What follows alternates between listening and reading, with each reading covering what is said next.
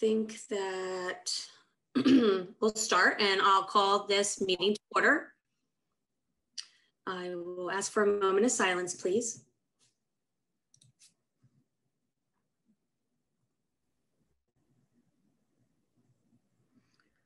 And then um, the flag salute. I pledge allegiance, to the flag of the United, States of America and to the republic for which it which it stands, stands, one one nation, nation, under God, indivisible, indivisible, with with liberty liberty and justice for all. justice for all. Thank you, Bob. Oh, We were saying that in unison today. no. okay, so um, roll call vote, please. Mr. Calaguire, Here.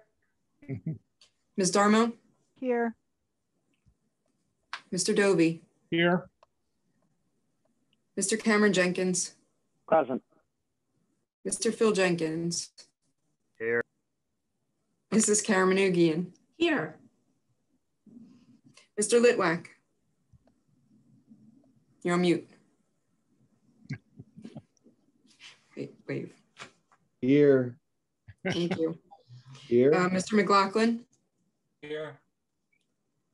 and Mrs. Tursich Keeley. Okay, if we could please have the reading of statement of adequate notice. Reading of the statement of adequate notice. Notice of this meeting pursuant to the Open Public Meetings Act has been given as follows. Advertising in the Burlington County Times and Are the Courier on? Post. Oh.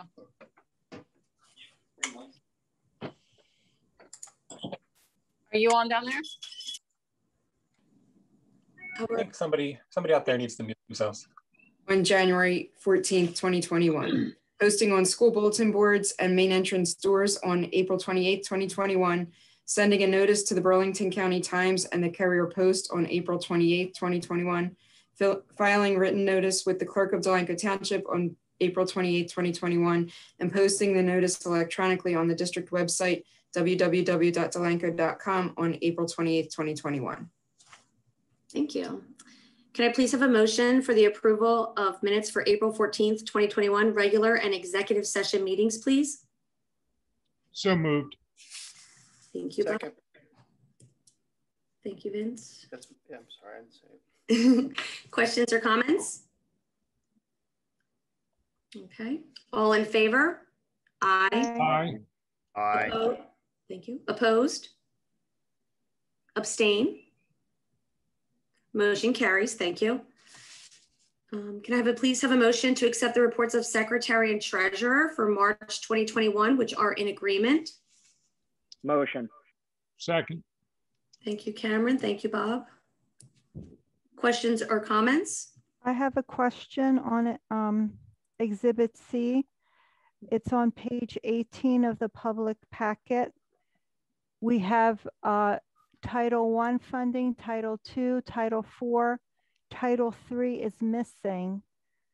From what I understand, our October 15th student numbers for ESL give us our Title III funding. So I'm wondering why is that missing on page 18? Anyone want to answer that question? I don't have it open in front of me. I, I Well, it's, it's missing, so I can look there no- into it and then I can reply to the board, but I don't have that open, so. Also, my other question is, um, also on Exhibit C, page nine, it says the original budget for the total bilingual instruction was thirty-nine thousand one hundred and fifty-eight. So I was wondering, where did we get that number from, from? Was that from our October fifteenth ESL student count? Would anyone like to answer that question? Again, um, I don't have that information in front of me. I can look into it and get back to you.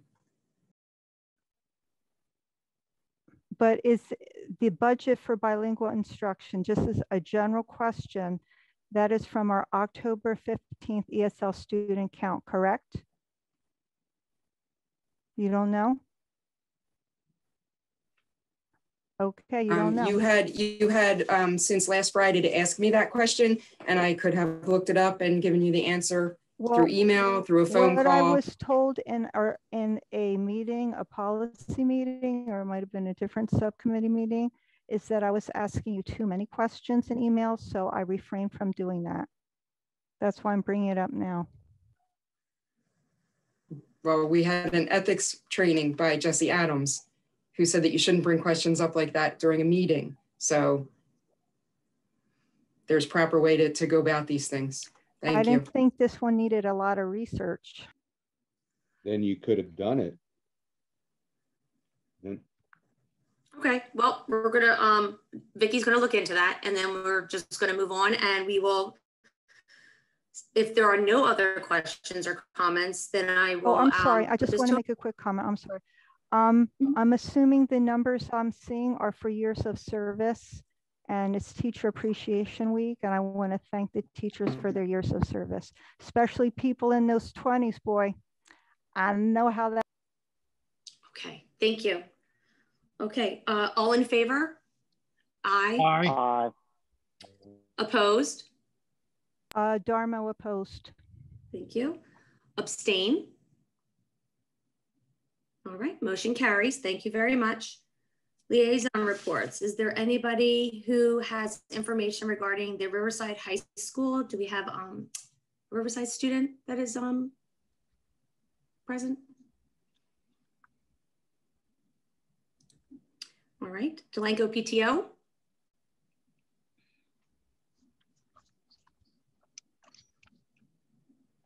Right, um, I'm sorry. Uh, Even though, uh, Ms., Mrs. Karamanougian, even though the PTO is not here to share any updates, I do want to take a moment to say thank you to the PTO. They have generously and thoughtfully provided lunch for the staff tomorrow. uh, And so as part of Staff Appreciation Week. So I just wanted to take a moment to thank our PTO for, for being very generous, generous and thoughtful with that. That's awesome, thank you. Anybody from DISA Recreation and or the Township Committee? Hey, Marissa, Matt Bartlett's on from DISA. Uh, we're currently in the middle of our softball season and baseball and t-ball. We got about uh, three and a half weeks left. Everything is going successfully and safely. It's, it's a great season. All the kids are enjoying getting out there, seeing their friends, getting some uh, physical activity on. Uh, we got a bunch of games this week, over the weekend, and the next couple weeks. So if anyone's around, please feel free to come down to uh, Avenue games, Walmsley and Riverside, and you could watch uh, the students and their friends uh, play some ball. It's uh, been going great, uh, nice and safe. And uh, I just want to touch real quick. Uh, town committee a couple nights ago, uh, when they were discussing having a parade, it was brought up that uh, youth sports are a hotbed for COVID right now. And uh, you may have saw my uh, post on Facebook, some of you, but DISA is operating an incredibly safe program. We've had zero issues this season. We've had zero issues in our 2020 soccer season. And you know, there's just no issues with our, our program. And I actually talked to Dr. Herb Conway today, and he even confirmed that there is no hotbed of COVID issues with youth sports. So I just want to, for all the parents that are on here and all the teachers and everyone else, we just want to, you know, relay that uh, just so there's no misinformation being put out there from other boards. Thank you. Thanks, I Marissa. appreciate that. Fern Olet from the Township Committee. Oh, Hey, sorry, Fern. I was going to report on rec, so I'll wait till you're done. Oh, I'm sorry, Kate. Okay, uh, just wanted to announce that the uh, committee voted uh, for the parade to go on uh, May 30th, Sunday uh, at 1 PM. Uh, We discussed cannabis and the ordinance. And Again, that's going into further discussion on our May 17th meeting. And our township budget, the auditor will be with us uh, on May the 17th for uh, the budget for the township. That's all I have at the moment. Thank you. Thank you. Thank you. Kate? Actually, uh, Fern reported on my rec uh, as far as the Recreation Commission will be holding the annual parade. We're very thrilled about that.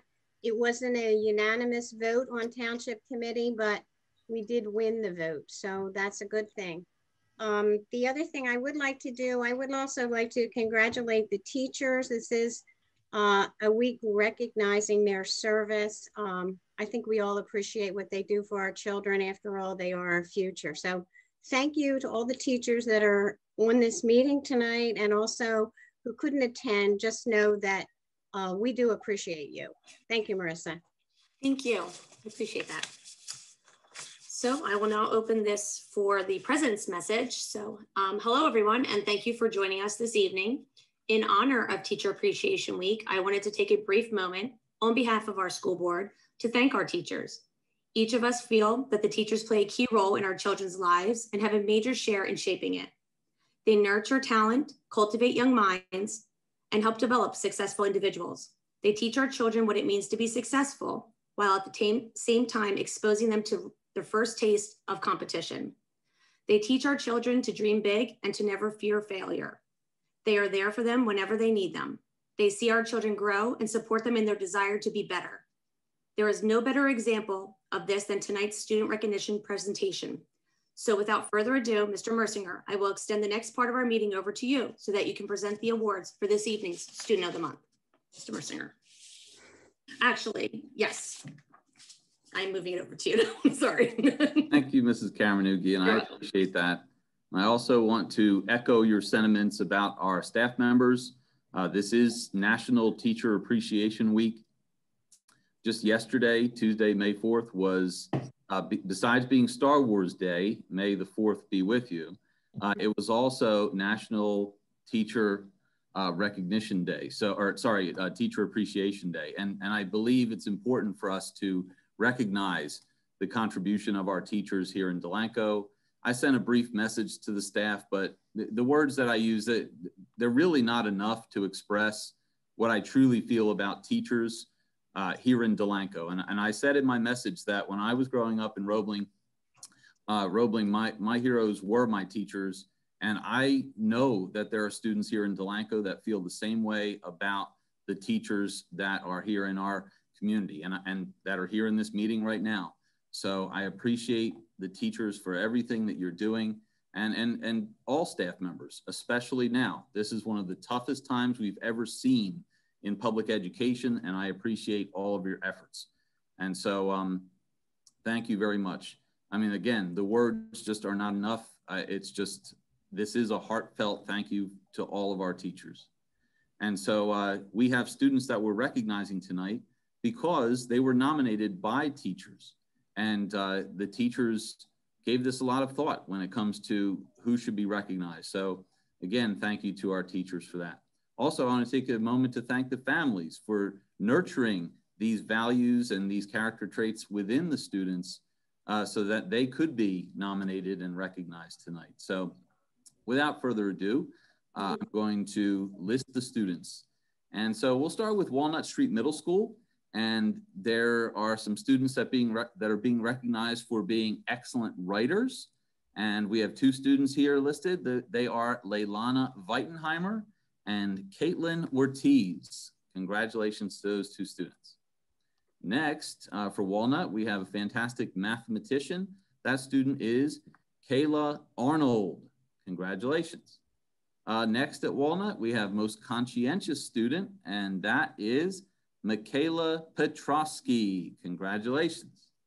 Uh, so again, keep, um, moving on to, to uh, great perseverance. Uh, that this is a student that is working hard through the challenges, and that is John Salerno. Congratulations to John.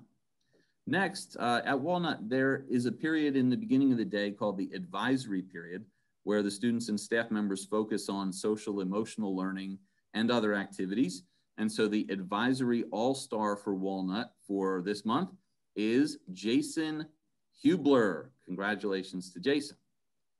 Next, we have a stupendous scientist that's being selected by Walnut, and that is Christian Ochoa. Congratulations to Christian. Uh, we have a couple of athletes that are being recognized uh, by Walnut as well, and they are Lucas Silvestri and Christopher Easton. Congratulations to those two young men. And next, uh, moving on to dedicated student. Uh, so the, the dedicated student for this month selected by Walnut is Shia Tori. Congratulations to Shia. And last but not least, we have a student who's being recognized for perfect participation at Walnut.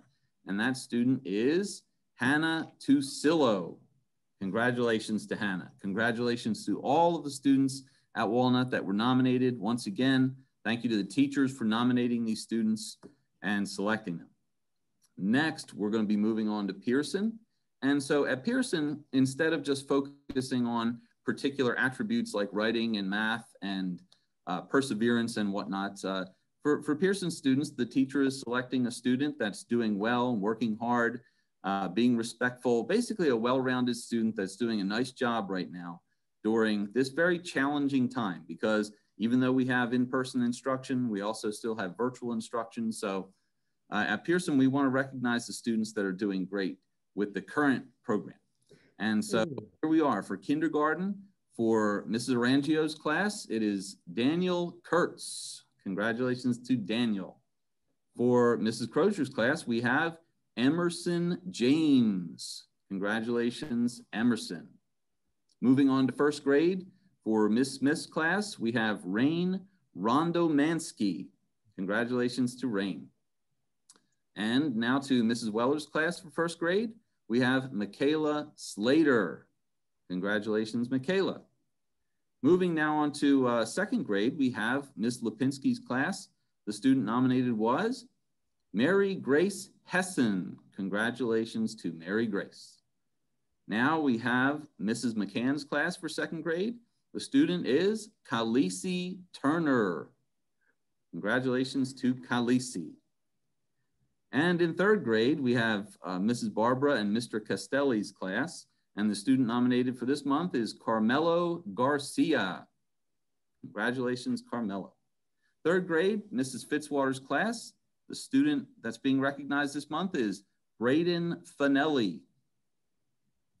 Congratulations to Braden. Moving on to fourth grade, we have Mr. Stockton's class, and the student selected is Eric Schaefer. Congratulations to Eric. Uh, fourth grade, Miss Wallace's class, and we have a student here that was selected. It is Joshua Walker. Congratulations to Joshua. And now, last but not least, we're moving on to fifth grade. We have two homerooms. So for Mrs. Brendel and Miss Letton's class, we have Jason Russo. Congratulations to Jason. And finally, uh, for Mrs. Guckin's fifth grade class, the student being recognized is Cameron Lilliston. Congratulations to Cameron. So in a typical month, we would give certificates to the students during the board meeting.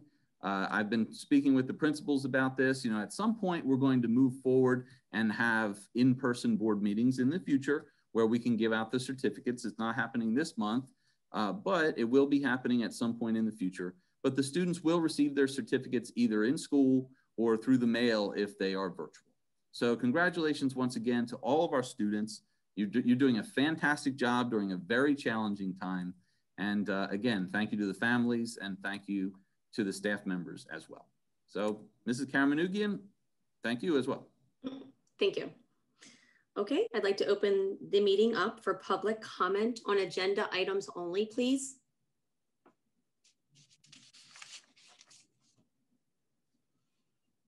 We do have the one uh, yes. comment from online, Mrs. Cameron. Yes, you're correct. Um, it is from Mrs. Foley, and she mentioned, Miss LaSalle, thank you for your time and service and hard work. You will be missed. Thank you. So that's wonderful. Thank you so much. And I'll save the other one for later in the meeting. That's, that's referring to the agenda item later on on personnel. That Yes. shows that Ms. LaSalle is resigning from her role as business administrator. And again, I want to echo those sentiments. Thank you to Mrs. LaSalle for all of your hard work and dedication to Delanco. I agree. Okay. Um, is there anybody else who would like to comment on an agenda item? Okay, if not, I will close that section and then move right on to the budget public hearing and adoption.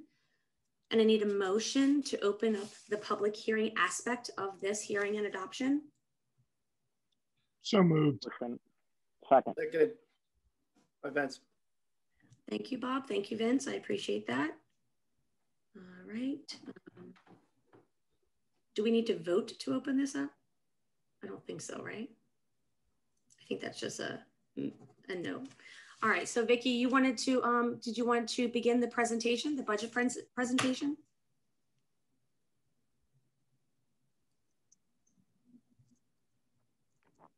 I believe we had to vote on it, Marissa. Right, that's, oh, we do have to vote on that uh, to open it? Okay, then we'll vote on it. Mhm. All in favor? Aye. Aye. Aye. Opposed? Opposed? Abstain? Okay, that motion carries. Thank you, Phil. Aye. Okay. Vicky, now I'm opening this up for you to um, present the budget presentation.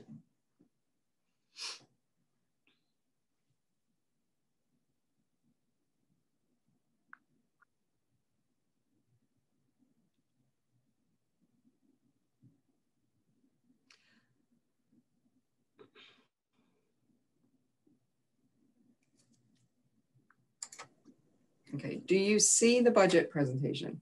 Yes. Okay, so it looks like a blue screen when I do that. Okay. So this is your uh, 2020, 21, 22 budget presentation. Um, I'm going to show you that what the revenues are made up of.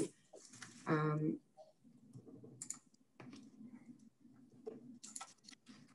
there we go, revenue overview. The revenue sources are the tax levy, the state aid, library rental, audited excess surplus. The appropriations are made up of salaries, benefits, tuition, transportation, capital outlay, and other, which is um, supplies, professional services, travel, things like that. The um, budget overview. So the tax levy that we're proposing to raise is 6,675,848. It's a three percent increase over the prior year, and it does include the use of banked cap. Um, state aid number is 2,820,844.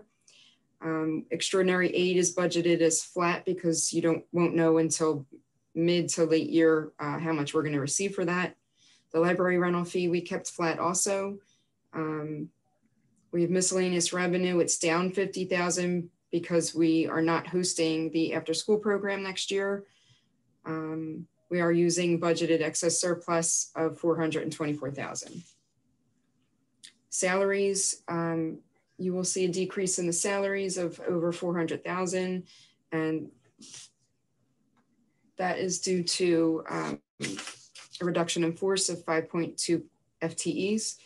Uh, there's a corresponding reduction in the benefits. Um, we are anticipating an increase in tuition costs of 65,000. So uh, total tuition would be 3,687,000. Um, we're anticipating an increase of 60,000 in transportation costs. Um, capital outlay will remain flat and then there's a decrease in the other expenses, partially due to um, some of the ESSER funds alleviating some of the budget items. The tax impact is um, seen on this slide. Um, it's a 3.17% increase.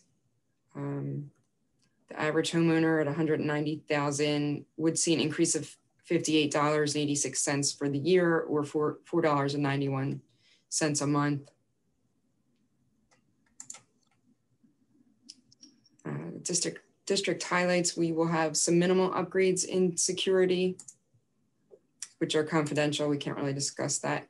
Um, the grant funding that's coming in will go towards learning acceleration initiatives. The administration is working hard to uh, pull that together. Um, it will support mental health initiatives and training and professional development for the staff. It'll include ESY programs, and it is supporting the budget um, in salary items. Um, and that's all I have for the budget presentation. Does anybody have any questions?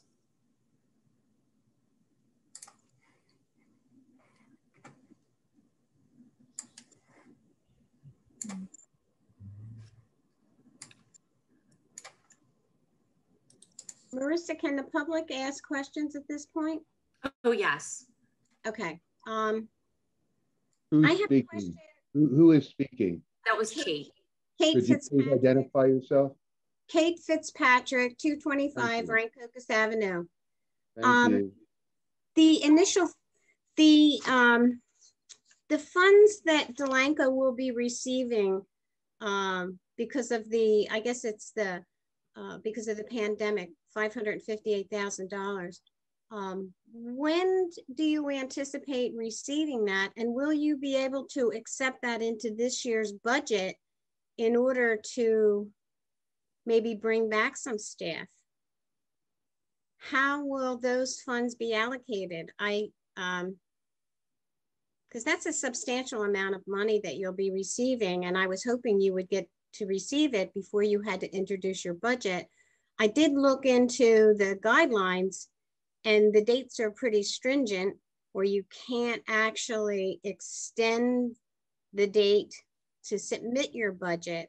And I've talked with um, some other administrators uh, that previously worked in Delanco. No offense, Vicki, you worked with these people as well, just to try to get a, an idea of why the state is requiring this budget to be passed now when they know that many districts will be receiving additional funds that will help our children.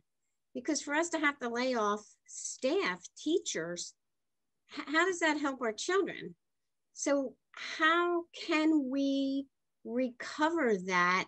Or what is the district's plan when we get those funds?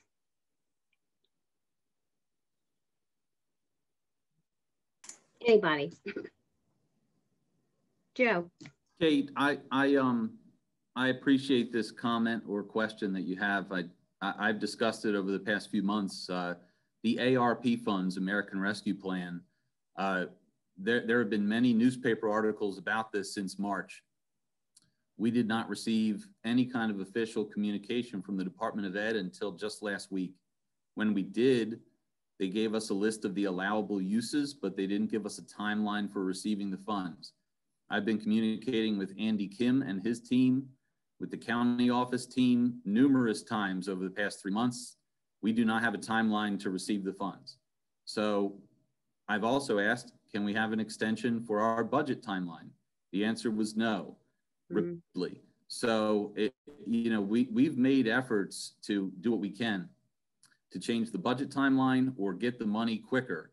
Uh, but there's only so much we can do when we're waiting for the federal government to give money to the state and then the state to give money to us.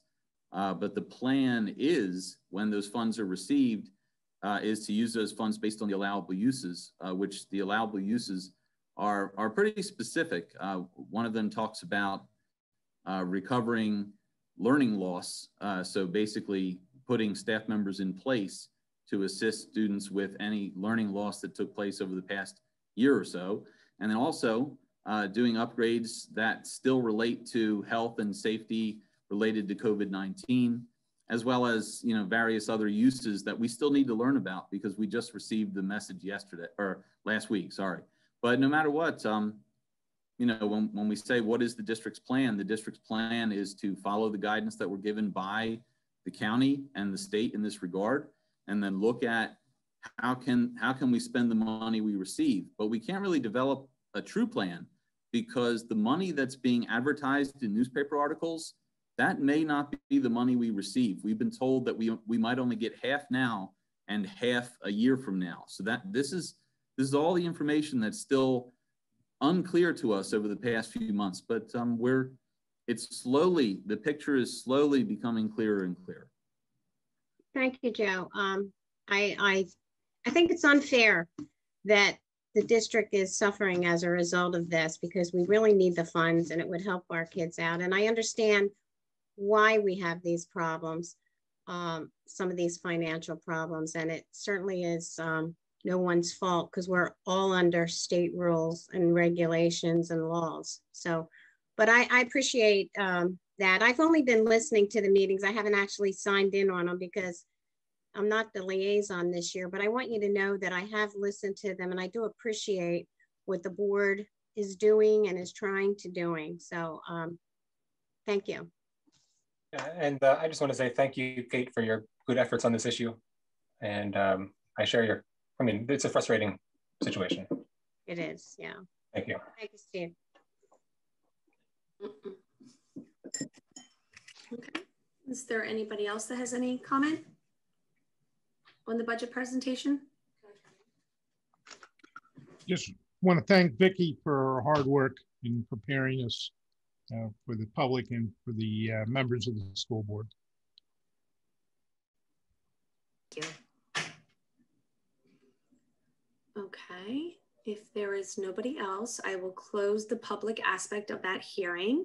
And I need a motion to close the public. So moved. Thank you, Bob.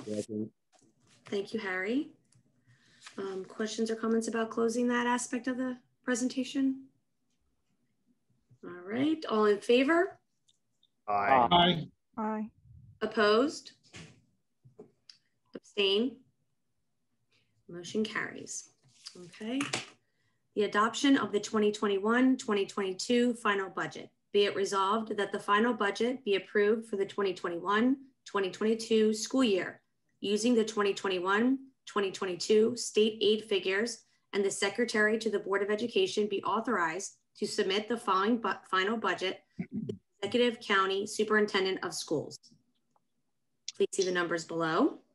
And be it further resolved that the Delanco Township Board of Education includes in the budget the use of banked cap in the amount of $65,010. The purpose of the banked cap is to continue to provide resources to our school as they meet the needs of our pupils in the areas of tuition costs, transportation, and teaching resources. The use of this bank cap cannot be deferred or incrementally completed over time. Be it further resolved that the proposed base budget exceeds the state's adequacy budget. I need a motion, please. So. Second. Okay, I'm sorry, who um, was the first person to say it? I think Phil. Yep, I Okay. motion. Thank you. And then Bob seconded. Thank you. Questions or comments? Okay, this is a roll call vote, please. Oh, I'm sorry. Do I make, can I make my comment when I make my vote to explain my vote? No, you can just make it right now. Okay, my, I have to make my comment now. Okay, Well, my comment now is that according to um, something that's an open public record, the current legal contract of the CSA is for his duty to be principal and superintendent. That is the current legal contract. It has not been revised by the board. The past board president and the present board president have not called on that contract to be revised.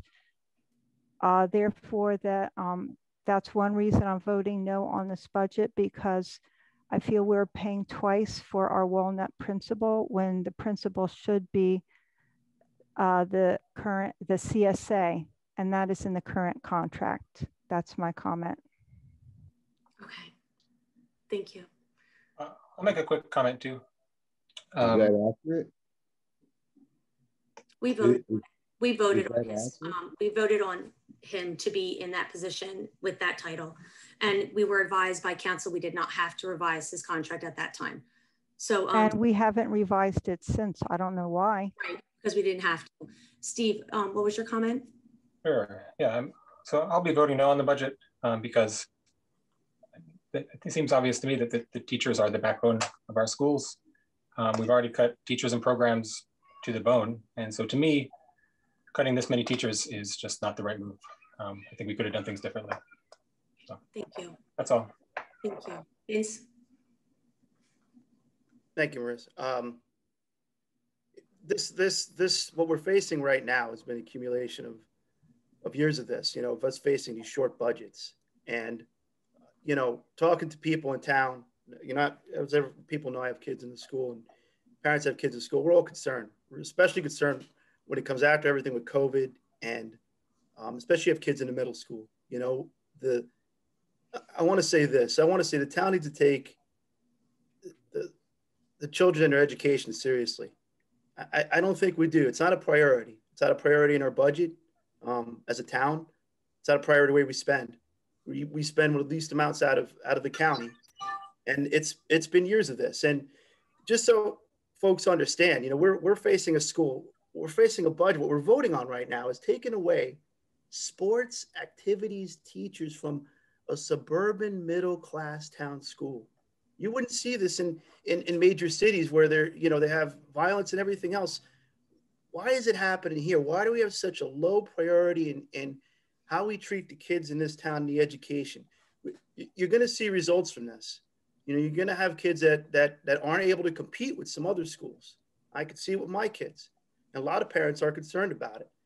You know, everyone who's on the board, I know you take your old job seriously and everything. When did you take into context of a parent and what they're facing here? And and I agree with Steve. Teachers here like been a, been a salvation for us here. Um, what they've been doing and, and teaching and the way they, you know, I see with my kids and the way they approach them and everything else. Um, you, you know, I appreciate it and the job they do. And we, we need to support this school better. Like what we're voting on now is just a sample of this, folks. If anyone doesn't think this is important or because you don't have kids in the school, it's not important. You, you're going to see it anyway. You see these little increases we're doing every year. That's just going to be the way it goes till we catch up. We have to invest in the school. We have to invest in the system. If we don't, we're, we're on a path of self-destruction here. We're already way on that path. And, you know, like a lot of other parents, I have to look at other options for education when you're looking at what your schools are. And some people in town don't have that option. So it's a it's a serious vote. My vote's going to be no on it, but um, I, I would like town officials, ones who are on here, some of them have talked to me and expressed how concerned they are, but the way you're concerned is to help us out, getting us more money so that we could, we, the school could just be able to compete because we can't compete right now. Thank you. Thank you. Um, roll call vote, please. Mr. Caliguire. I vote no. Ms. Darmo. No. Mr. Dovey. Yes. Mr. Cameron Jenkins. Yes. Mr. Phil Jenkins. Yes. Mrs. Karamanougian. Yes. Mr. Litwack. Yes. Mr. McLaughlin. No. Mrs. Tursich Keeley is not here. Okay, motion carries. Superintendent's report, Mr. Marsinger. All right, thank you, Mrs. Karamanougian. Uh, here we have the superintendent's report. Uh, a motion is requested to approve the following items, letters A through H. I have no additional commentary at this time, so uh, a motion is requested for that. So moved. Thank you, Bob. Second. Thank you, Cameron. Questions or comments? Uh, Vera Darmo has a, a question. In the reopening plan referenced on letter F, um, eligible ESL students are going to be allowed to attend four days a week. Um, I believe in grades K through six, um, maybe seventh and eighth, no, K through six.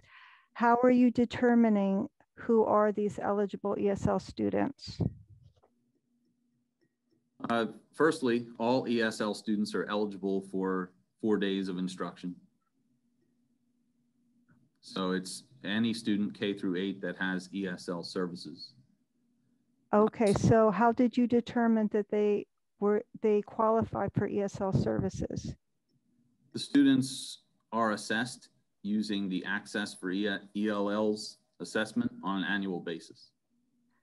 The students also uh, have an ESL screening that takes place.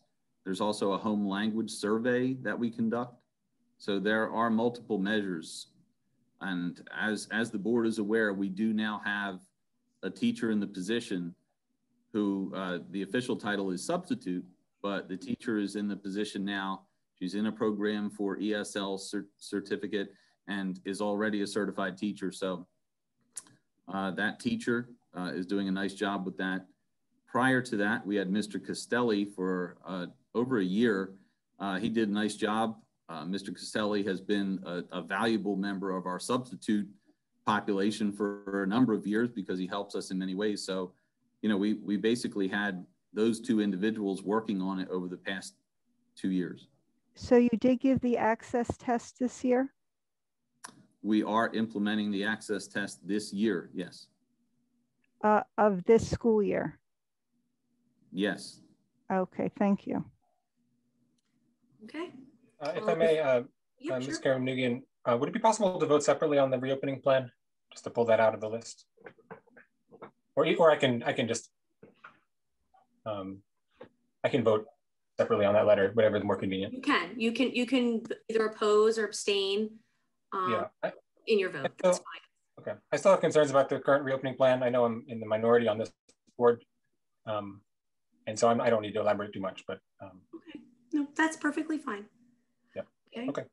Oh, I just have one additional question. Um, Why uh, K through six are going four days a week with Wednesday um, virtual? Why were why are seventh and eighth um, going two days in person a week? I was just wondering about that thought process. Ms. Darmo, you received an email with a clear explanation for why this is the case. Oh, I'm sorry, I missed it. I, I apologize. But um, for the public, could you, or maybe they already know? Well, uh, the, I can explain for everyone's benefit right now that we would love to have seventh and eighth graders in four days a week. The issue is our seventh and eighth grade populations are larger and we need the space and we need the staffing and we need the guidance from the health department to all align in order for seventh and eighth grade to have those four days a week. Uh, we were not able to make that happen. Uh, we, we looked at it in many, in many different ways over the past three months from many different angles. And we determined that we could make it happen for certain grade levels, but not for others. So it is unfortunate that seventh and eighth grade is not part of that, uh, that next step that we took. However, uh, it's based on the numbers, not based on personal preferences, not based on opinions. It's based on what do the numbers tell us when it comes to students in the classroom, how many, how much space we have, and how many staff members we have. Okay, thank you. In favor? Aye. Aye. Opposed? Phil, were you And, were all in favor or opposed? I was in favor. I couldn't get to my button quick enough. That's okay, no problem. I just want that clarification. Um, opposed? Abstain? Motion, Yeah, I'm sorry, go ahead. Yep, yeah, I just want to specify, um, I'm voting yes for everything except for uh, item F, the reopening plan. I'm Voting no on that. Okay. Okay, you're voting opposing that letter F. Okay, thank you. Anybody abstain? Okay, the motion carries. Instruction and Program Committee, CST, BOE, update, reclassifications and placements, confidential, Exhibit L. Mr. Litwack, Finance Committee report, please. Well, hope to get it up here. And,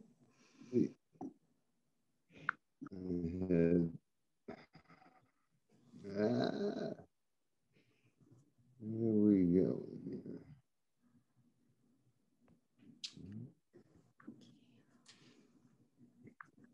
I move that we approve. I can't see it.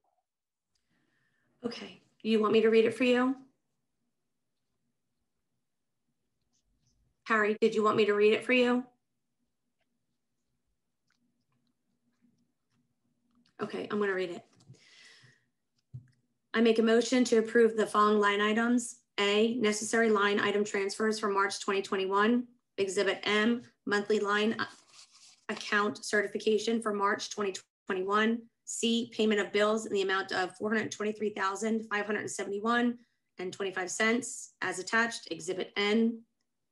D, joint transportation agreement for public, non-public and vocational schools, special education summer schools, and special education winter bus routes with Burlington County Educational Services Unit for the 2021-2022 school year, Exhibit O.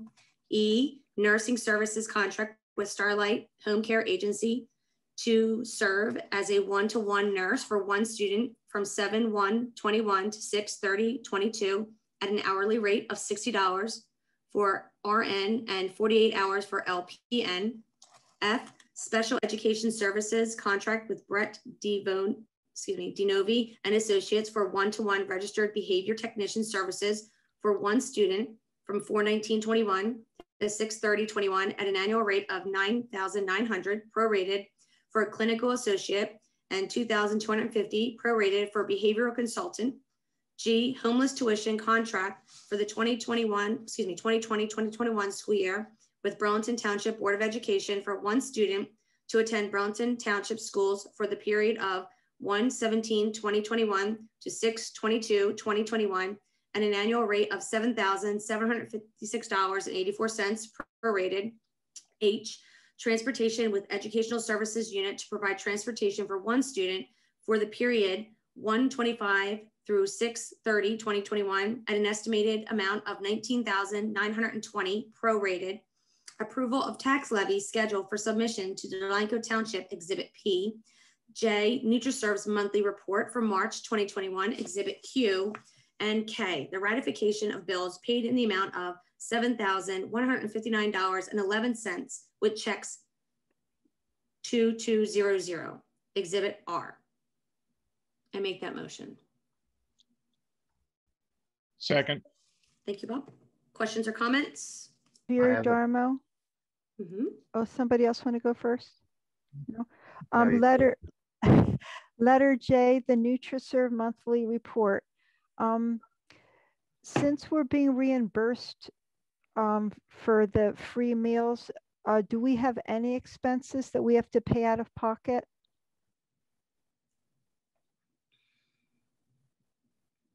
It was hard for me to, to understand. I mean, I, I feel like you almost have to be an accountant.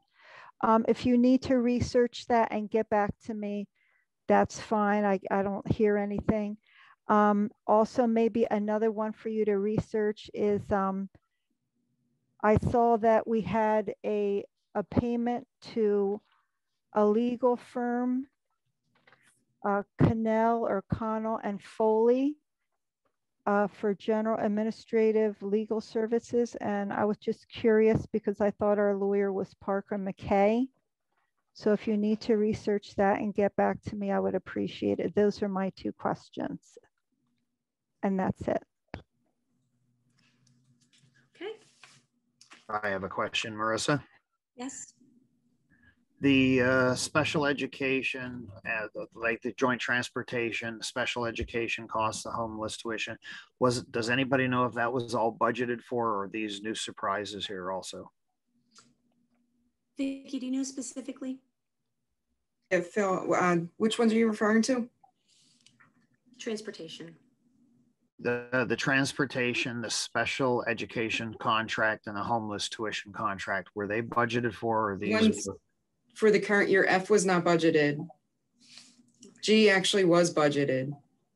And H is, um, H was not budgeted. Okay, um, Marissa, would you mind if I go off on a little rant here for a minute? Okay, under questions and comments, sure. Yes, um, folks, every month we go through this with the finance and what extra costs cost us. And if you notice over a period of the last couple years, some of our costs are increasing. That's why we're in trouble. Some of the special education costs, and I've said it many a time, I think the state of New Jersey should be picking it up. It gets to a point where when you're finance, some of the things that you're paying for are costing more than what it's costing you to educate your children. Then it comes to your budget time and we have to cut. And that's how we get into this situation every year. Everyone out there, I tell you, call our senators, call our assemblymen. They have to change the way things are funded in this state. I mean, if you let, if you took the special education budget out of Delanco School District, we would be able to provide every service for our children and we'd able be able to hire more teachers and I think it would be great.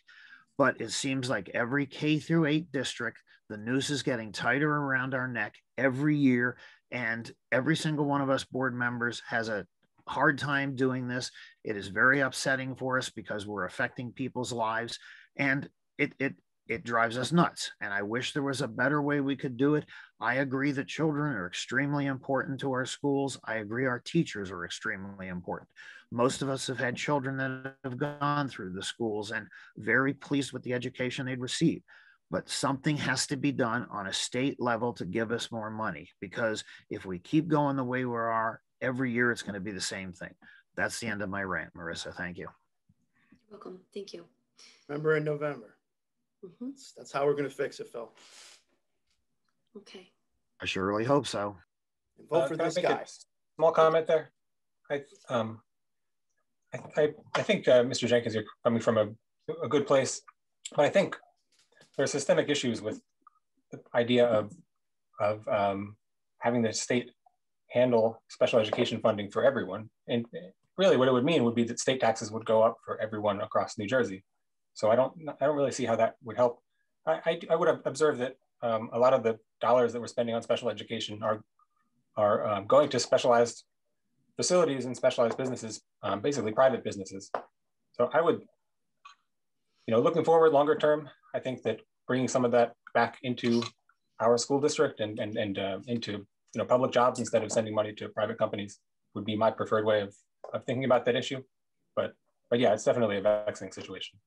I would like to um, support what Steve McLaughlin said, and I hope, um, I know that the board as a whole is trying to think of how to bring special ed back when wherever feasible.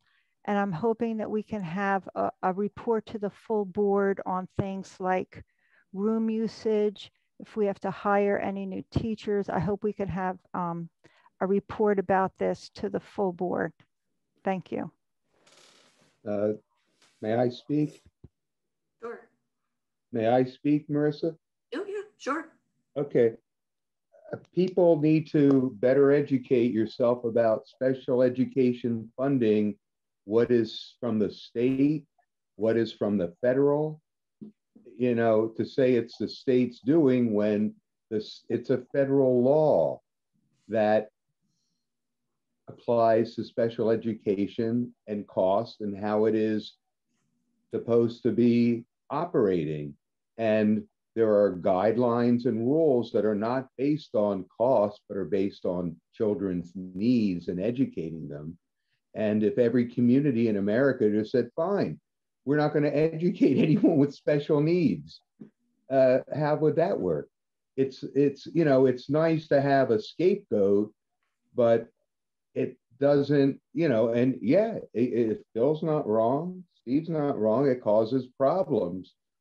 But as long as we have to go by certain guidelines and the state is not um, able to get the federal funding, I mean, I've heard senators on television misinform the people, misinform people about saying, oh, well, we're, you know, it's, uh, we're giving them 6% increase that they never had, but they never had it because it wasn't, they were supposed to be getting it and they never got it. You know, we're supposed to be receiving much more funding from federal sources. It's an unfunded mandate. And now it seems there's going to be a little catch up with all the money that's being uh, tossed around from Washington to the state to the county to the local districts, but it's a, a structural problem in the system. And it's not our problem alone. You know, it's other districts, and some of it is just size, the size of our district.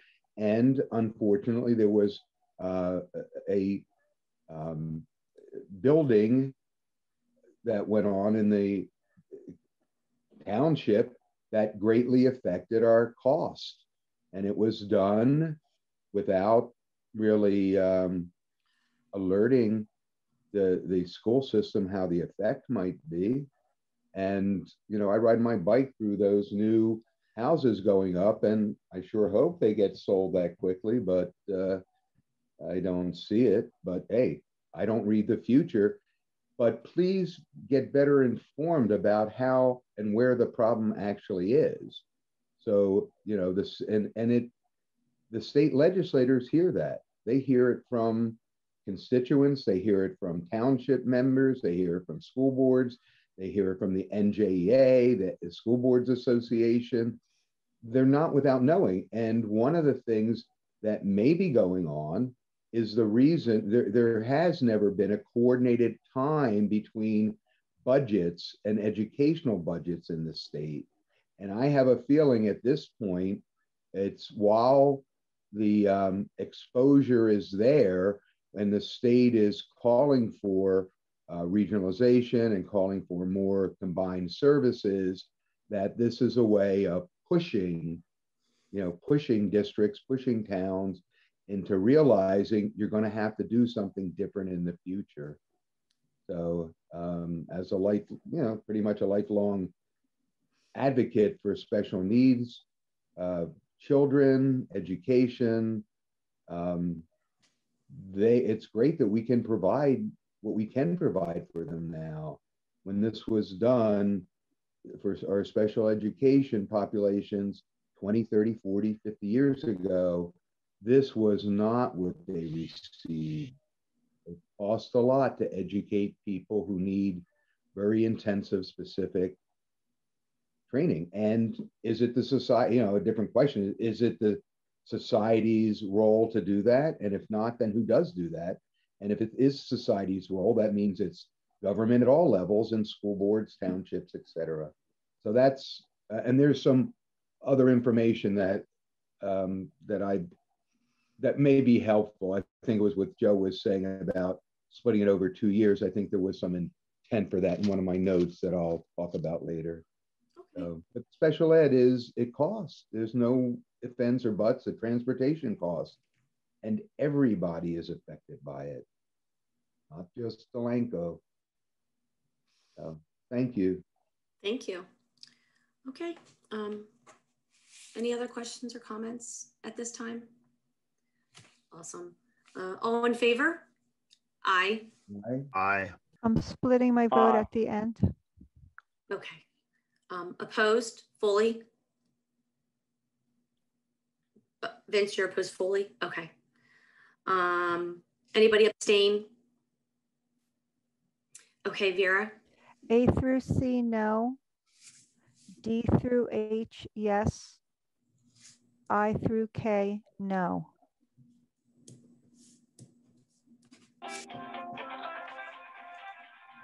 Okay. Motion carries.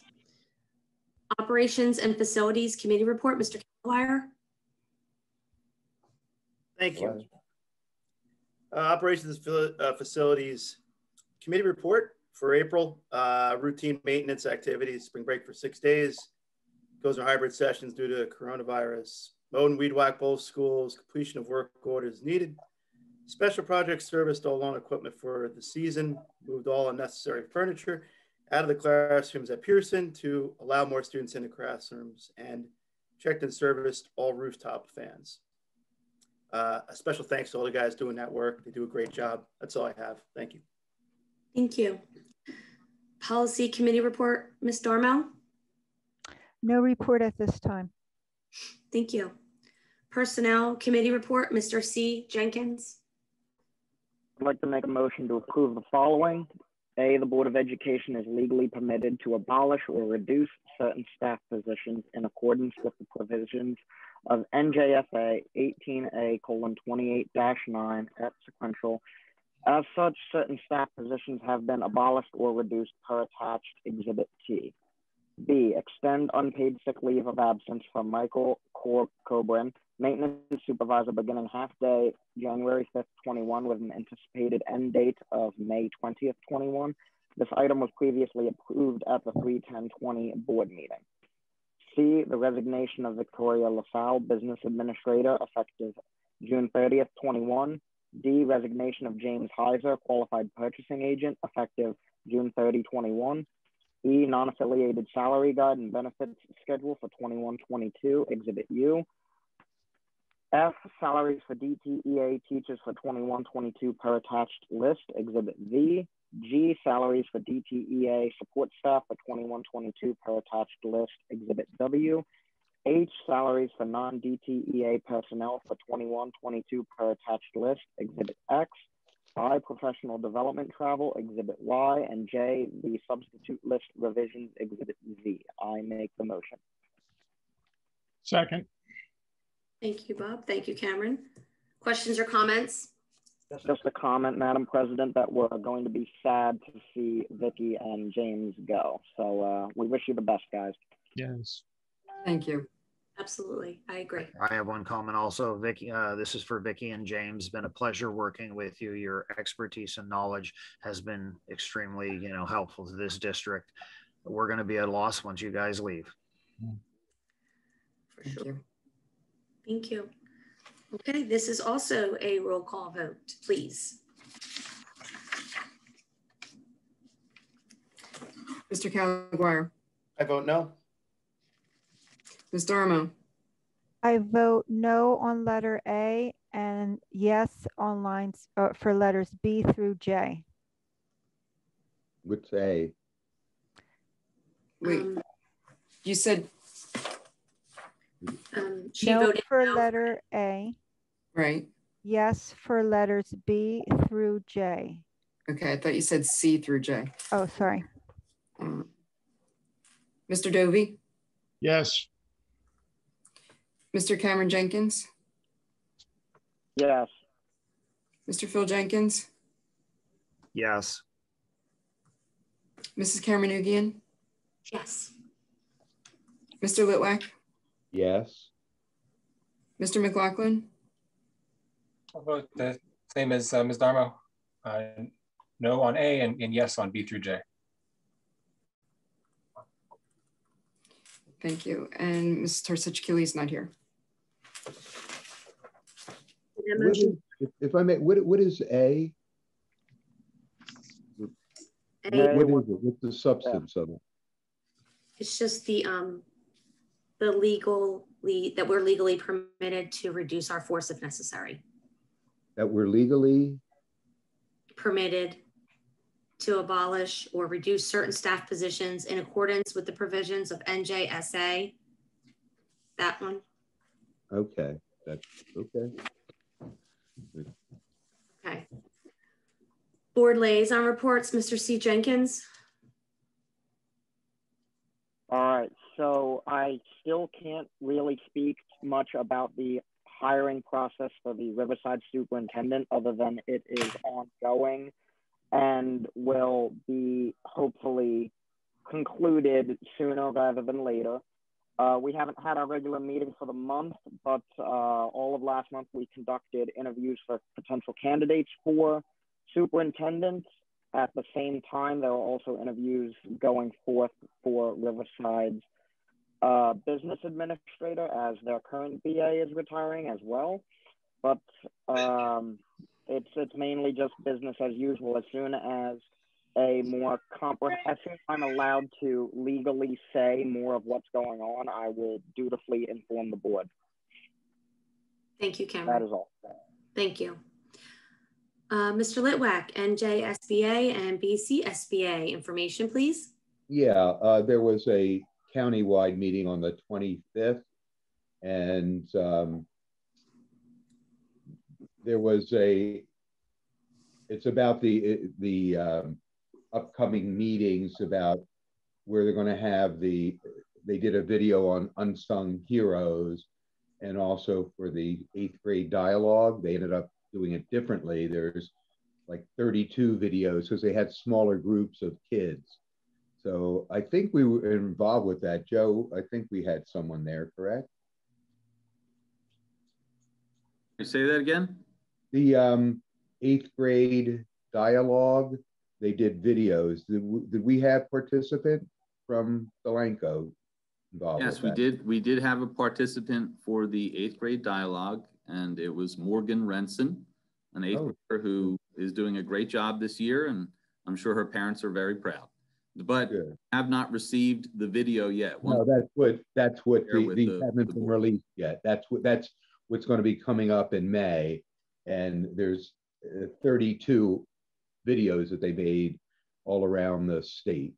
Um, Then they had issues for September are that some people don't want to send their kids back to school. Uh, there are many issues, mask, airflow, homeschooling, um, in the fall, will it be hybrid? How will that work?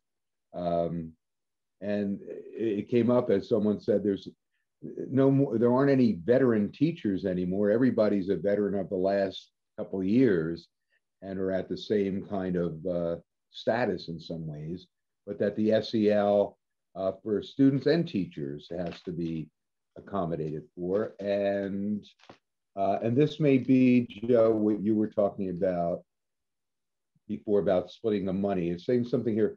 The budget, they're looking at the 2021-22 proposed budget of $350, uh, $350, yeah, $350,000 um, that would be able to be used for free balance if needed. So I think what my take is the government at the state level, at the federal level, is trying to get as much money out to the schools as possible. It's not here yet.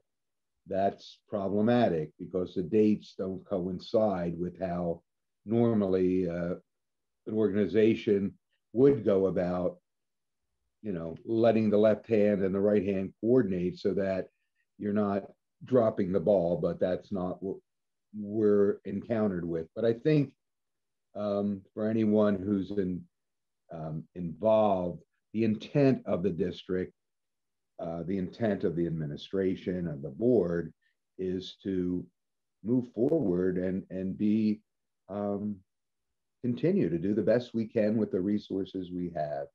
Uh, there's a directors meeting um, that I'll have that this Friday at seven o'clock, where that's the directors from each county, from large cities, small cities, vocational, etc. Um, and then uh, Saturday, 5, the 14th at 9 a.m., I have a delegate assembly where that, where it's interesting if people would like to be part of that. You, you, there's one vote per district, but you're involved with, it's a democracy. You vote just like we vote how the board votes on certain things and there that's how the rules of the school board association change so there is recourse but it has to be brought forward within the guidelines framework of the rules that exist so it's a it's an interesting time that's what i have as far as um, you know um, the county or the state. I did, um, I have calls in, I have messages and trying to coordinate how we might be able to look into LEAP grant, which is to going forward because of some of the holes that we're in that would give us a way to look at how do we get out of those holes. They're, they're basically uh, grants so that you can get a better idea of where you need to go in the future by having feasibility studies. And there were three phases to them, two of which I think were, the one didn't apply to us. One, the date is, is already over, but the third would be to focus on that. And I intend to continue reaching out to both political figures and also um, Mr. Ray Marini, who's the county superintendent, to, to see how we can get access to feasibility studies so that we're not going down the same slippery slope that as we keep pulling ourselves up, we keep sliding down. So thank you, folks. Thank you. Um, and Township Committee Liaison Report, Ms. Tursich Killy is not in this evening, um, so we will move forward from that, and I'm sure she'll recap us when she has some time. May I say something? Can, can we as a board uh, chip in and send flowers, please? I'd like to do that. We've done that in the past, and I think sure. it appropriate. For sure, we can. For that. Yeah, we can take that offline, absolutely, and we can work to um, take care of that. Thank so, you. Okay. Um, old business, is there any old business? Mrs. Karamanougian, I do want to set the record straight on some old business from tonight. Oh. So uh, Ms. Darmo, you had asked about grade seven and eight. Uh, I discussed this at length with many, many individuals and groups. Uh, however, I did not send the update to the board to say, to explain seventh and eighth grade. So I, uh, I offer you an apology for that that I, I was mistaken. And so I had discussed it at length with many, many people and actually had a, had a very detailed message prepared, which I can send to the board tonight. But the point is that seventh and eighth grade was simply not possible because of the various factors we looked at. But uh, Ms. Darmo, I, I understand the question because I actually didn't provide the explanation to the board until now. So. Oh, you you could have gotten away without apologizing because my memory is out right now. okay, thank you for your apology. Well, I have to give credit where credit is due, you know, and if I didn't do something, then I have to also, you know, say I, I actually didn't do that. So I apologize. Thank you. Is there anything new, any new business? Um, I just want to ask Mr. Mersinger on that nice note, if this, do you anticipate when the full board could hear about, um, you know, we, we've already talked about bringing back what we can of special ed in terms of room usage, like concrete things that we need to think about. Is there any date that you see that you could report to the full board on that?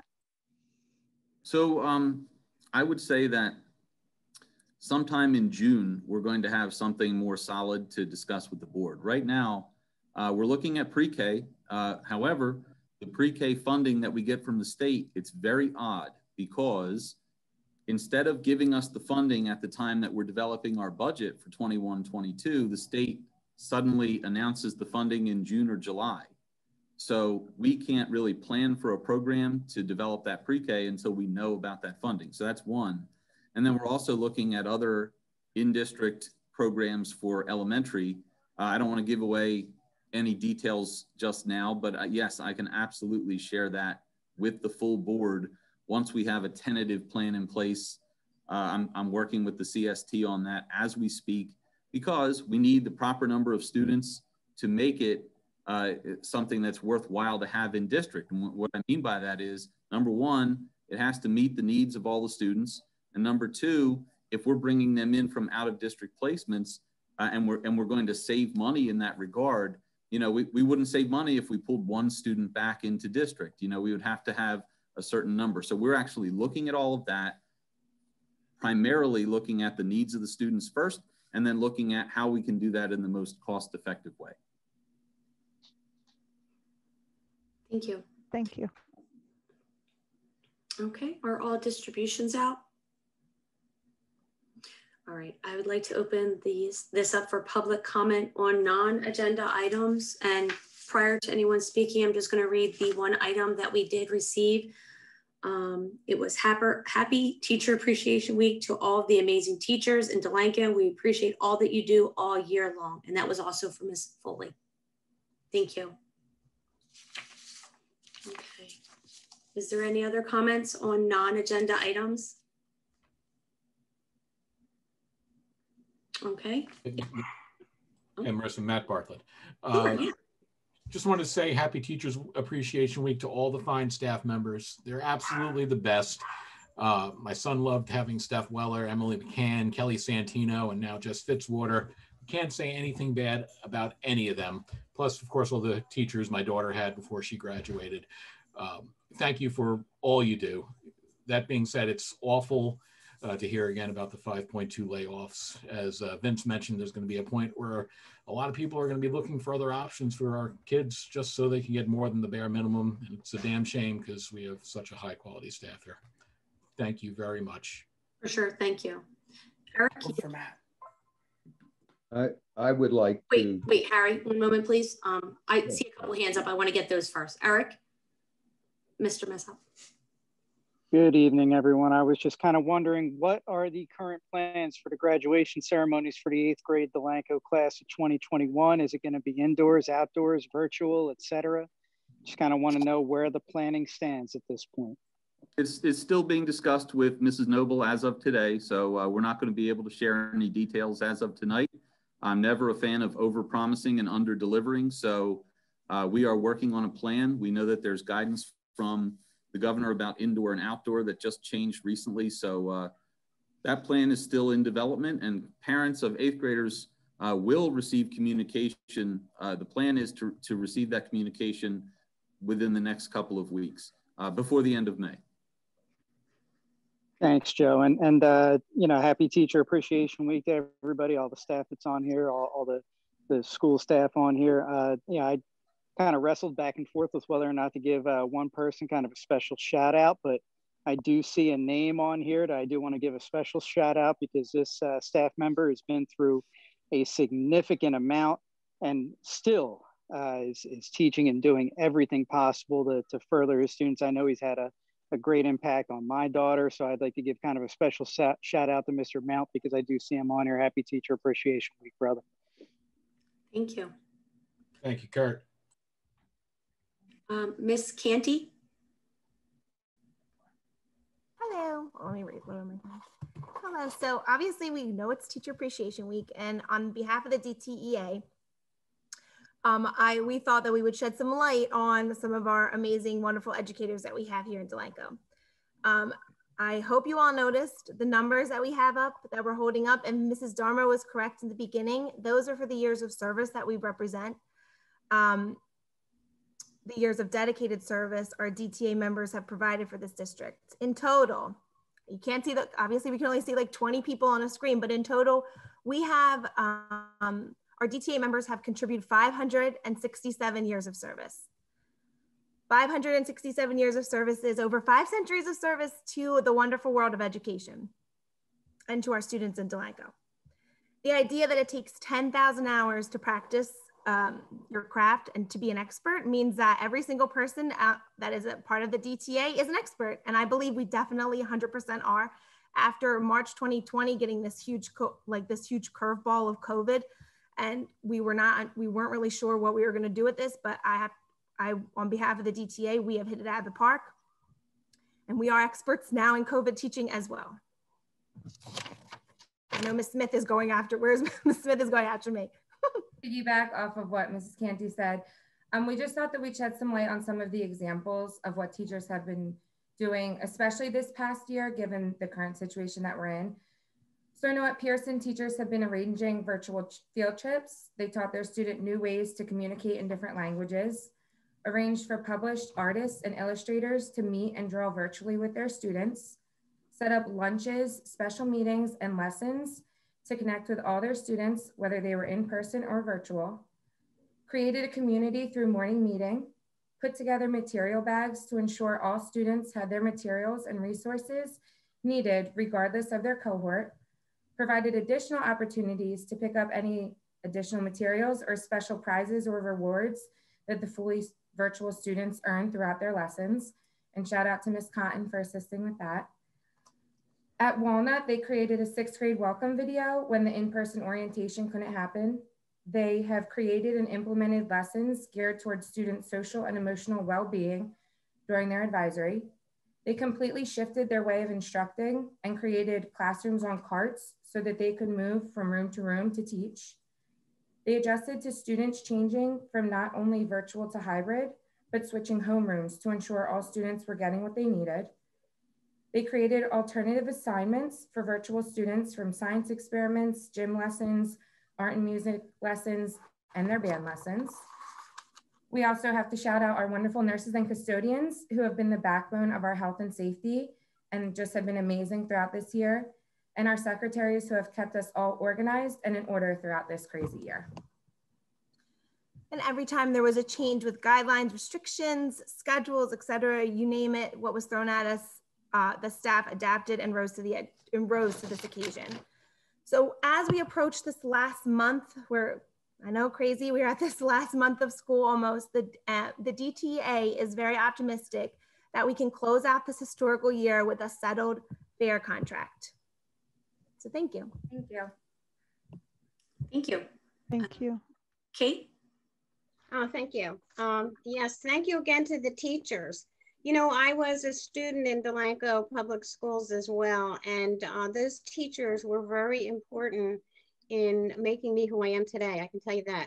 So I want to reiterate a couple things. One thing what Harry said was um, about the funding, and um, it's things are mandated, but we are definitely underfunded. And I I'm not really worried about other districts right now. I'm worried about Delanco.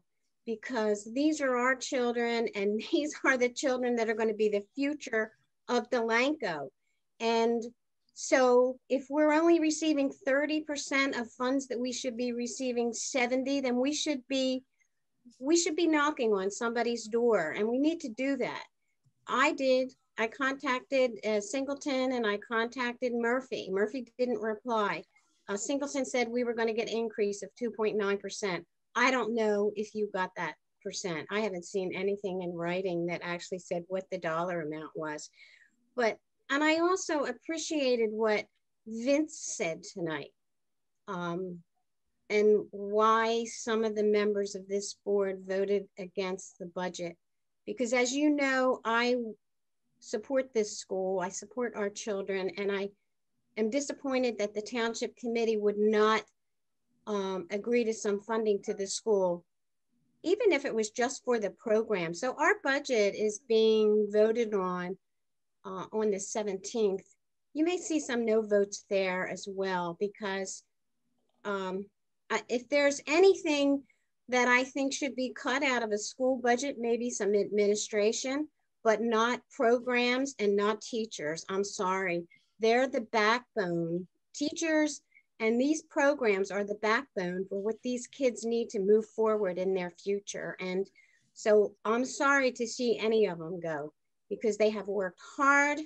Our students need them. And to continue to cut those teachers or those programs are hurtful to the kids in our school system. And believe me, I will do whatever I can to knock on somebody's door to see that we get the funds that we need because Delanco Township also was mandated to have um, that affordable housing unit that I know that several people feel it has caused a problem. And the other development is underway. They've probably sold 60 already out of 105. It's moving. Unfortunately, I don't believe the school will recover any of those funds for maybe a year or two. Hopefully, the funds that you may get will help, but the taxes, you'll receive some next year and maybe the some the following year. It was not supposed to be built as, as it happened. We were um, held up by a, a developer who ran out of money and was unable to do his share of the building out there, Hovnanian we're lucky he was able to sell it to DR Horton so that there are some new homes going up that will help the school's budget in the future. But um, I just wanted wanted to reiterate that. And I also wanted to thank Vicki because I know it's a difficult position that you've been in and you've done a great job for Delanco. So good luck to you and James. And thank you for your service to our town. Thank you. Thank you um, you had wanted to speak earlier? Yes, if I may. Um, it's a town-wide problem. It's not just the school board problem because the town has, as you know, Kate has come and said, hey, the schools is a problem, the schools are a problem and the real estate, et cetera, et cetera. They're all tied together. They're not unique. And they're, you know, you can say just focus on the Delanco, which we are, because that's our only realm which we can. But if we don't educate ourselves beyond the Delanco, this is sort of what happens. We do things our own way, and eventually there's a problem. Why? A lot of it is just there's not the proper communication between the um, school board and the town council, which has gotten a lot better, I'll say, because we're communicating now that never happened before.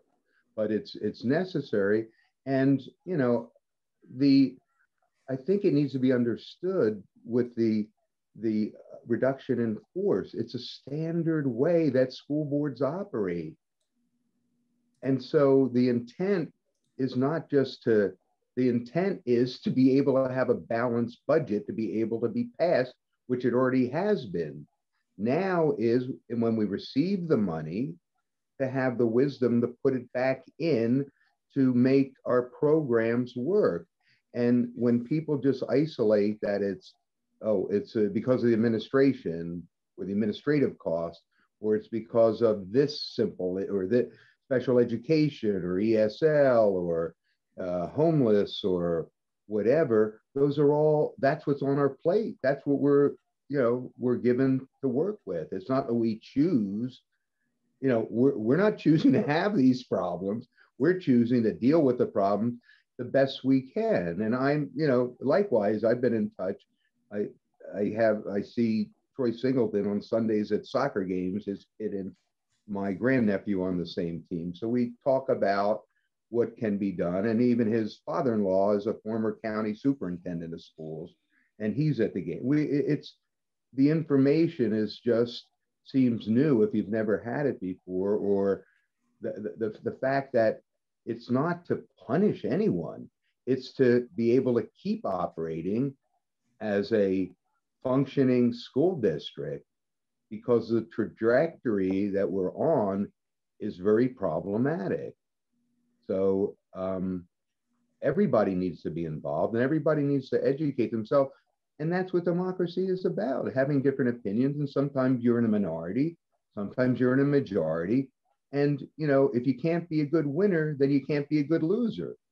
And so we need both. We need people to be, okay, what do I, what do I have to do to become the majority? If, if what you're putting forth is that valuable, hopefully that will happen.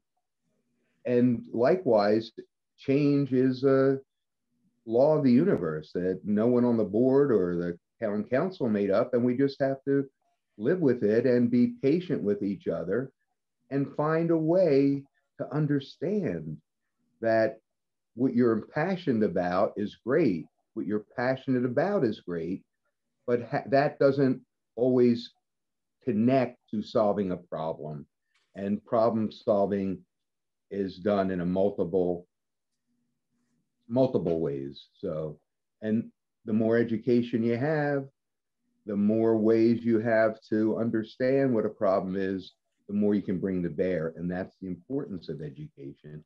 And i just hope we're able to serve our children. And i i personally as a you know a long time teacher educator administrator.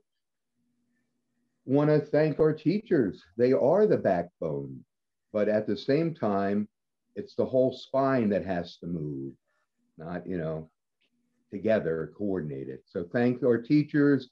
You do a wonderful job. Um, it's a thankless job often, but keep doing what you're doing. It, it's getting us through, and just hopefully we finish this year and we move forward in a way that we're all working together to better that that the the, differences between us are not about people but about issues. And let's try to keep them that way so we can solve the problems. That's what i would like to see going forward. Thank you harry. You're welcome. Um, is there any further public comment on a non-agenda item before we close Okay, I do not see any hands up. So I will now close the public comment aspect. Marissa, oh, there was I'm someone sorry. leave. Oh, wait, there was? Sam James. Oh, hold on. Okay, Sam, sorry about that. That's, that's okay. Um, you know, I just wanted to take a minute, first of all, as, you know, the president of DISA, which, as you know, is a volunteer board. Um, thank all of the volunteers here in town, those on school board members, um, and say that, you know, I can respect the challenges that you all face as a volunteer. On the same hand, I definitely want to shout out and, and give mine and Stacy's support to the teachers and the amazing job that they do. Um, I can tell you that I've been blown away, um, you know, with what Stacy's tried to do with some days, you know, five plus kids here in the house remotely trying to learn. So I can only imagine, you know, what it's like for the teachers. Um, you know, grew up in town here, uh, probably will die here. Um, but you know, again, I can't say enough. Like everybody else, our teachers are are amazing, and um, you know, I thank them for everything that that they've done for our kids, and that they'll continue to do for our kids. And uh, you know, I wholeheartedly support them. Thank you. Thank you, Sam. Um, Mrs. Campbell, or Ms. Campbell.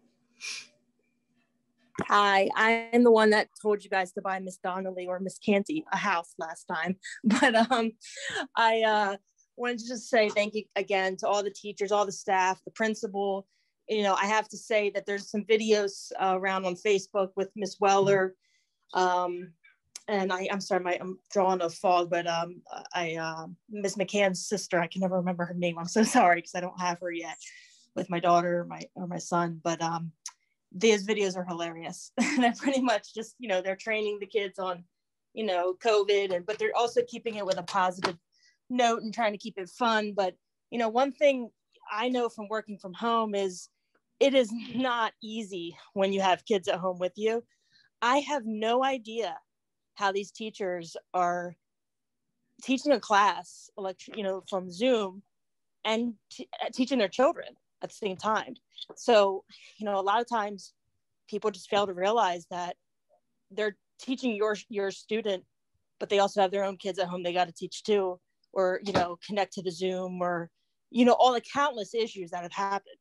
So my hats off to all the teachers. You'll never get paid enough for what you do, for how you, you know, develop our children because it is, you know, taking the village to raise a child kind of, you know, thing. So you know, half of our kids in the school are Sam James kids because, you know, he's got a, a village himself. So, um, you know, we just, we appreciate everything you guys do. And, and we'll never be able to, to give you any amount of flowers or gifts or anything to show our gratitude. So thank you to everybody for that. Thank you. Uh, Ms. Conroy? Uh, yes, I, I do want to say thank you to all the teachers. I just I can't even stress enough, just like Colleen did, just how much they're doing for the kids this year.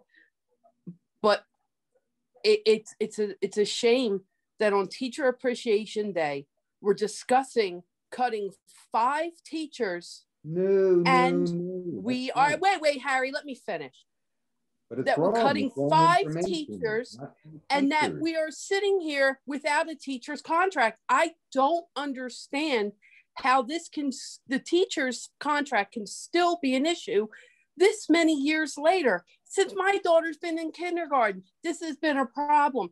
I don't understand why, why they still don't have a contract.